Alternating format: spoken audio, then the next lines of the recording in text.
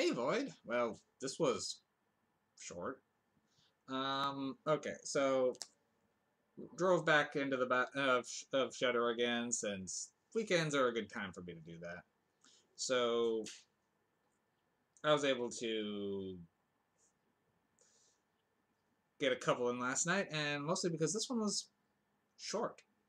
Very short. This was all of uh, not less than a half hour. Uh, so, Primal Screen. Now, I have a feeling like this was supposed to be like a series or something, and only one episode was made, and maybe it just didn't test well, so this, this possibly was a pilot for something. Because like IMDb lists it as a TV series, and it's like an episode length, and it even has an episode title called The Wooden Boy. So it does make it, and then it's divided further up into chapters here, so it does make it seem like there should be more of this. If there was, I'd probably be giving it a better rating, but as it stands right now with just one episode, it kind of was a little lackluster for me. It was interesting, but with how much more they could have explored, and if it had actually gone to full series, I would uh, definitely be more down for it. So, Primal Screen, it's a Shudder original, exclusive, both. Shudder original, back in 2017. Now, this one uh, discusses a lot about the Uncanny Valley, and uh, pretty much uh, the creator. It's about uh, I, I think it's one creator's fascination with uh, a ventriloquist doll and uh, discussing fears relation to dolls, mannequins, the uncanny valley, and things of that nature. Which, yeah, very interesting. Hi, your rudeness. You can come on, get get away. Cats. Anyway. So, this one uh, particular, the documentarian person being discussed, it's kind of unclear because uh, he's given different voices throughout it.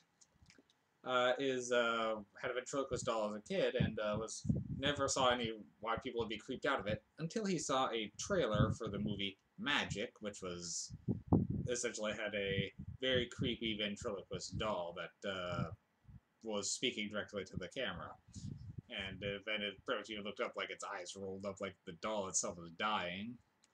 The doll itself was just kind of creepy just from the way its teeth and tongue looked. So, yeah. This movie, or episode, or whatever this is, felt like almost a glorified trailer for the movie Magic, because a lot of it uh, really uh, seemed to reference it. So, well, it succeeded in making me want to see the uh, Magic with stars Anthony Hopkins. I'm down for that now.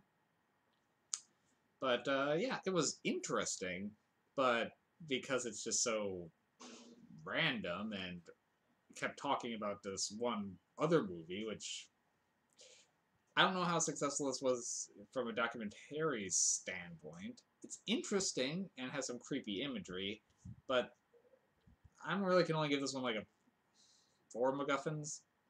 And that's just because it did hold my interest, and I wanted to see what it was talking about, but I kind of expected more episodes, which aren't manifesting. So if this was discuss more other fears or other horrors and how pop culture reference them, yeah, I would be down for that.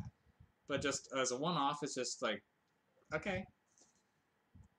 So I can't really discuss much on this one. There's not a real effects in general. There's some creepy imagery, sure. I mean, they do some interesting stylings for... it is stylistic, so there's definitely effort that went into this, which is why I'm not dropping it lower, but yeah, but four MacGuffins is really the best I can do on uh, Primal Screen.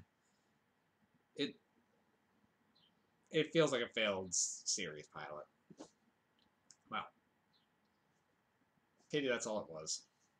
But at least it was a quick sit, didn't really waste my time, so I was able to actually get a second movie in last night, and now that one was a lot longer, and I think I did prefer Primal Screen, to be honest, but we'll get to that in a second.